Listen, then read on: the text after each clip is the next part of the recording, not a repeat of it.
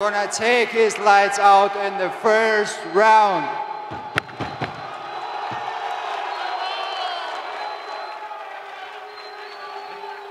Ilia, ¿te ha sorprendido ver a Volkanovski en esta actitud? ¿Crees que está nervioso? Mira cómo vino vestido, preparado para el retiro. Se ve para lo que vino.